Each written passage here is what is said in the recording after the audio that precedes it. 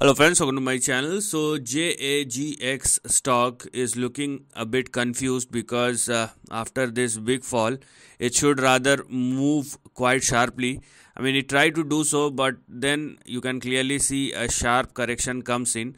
So it looks more like a range bound price action with uh, some sort of negative bias. Right? It's not positive because the stock has been falling down.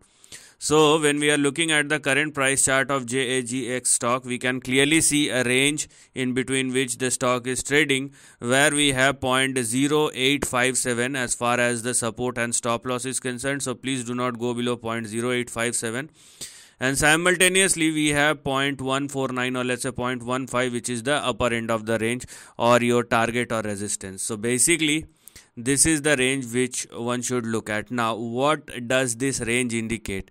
It is not indicating you know buying here and selling here or sell selling here and buying here. It is not indicating like that. This is more like a transit phase. So this range and its uh, expansion of this range thereafter will decide where the stock will actually move if it surpasses 0.15 or more then you can probably see an upside thereafter you know if it moves higher. And simultaneously if JAGX stock uh, started trading below 0.0857 or less you will see the move but towards the south.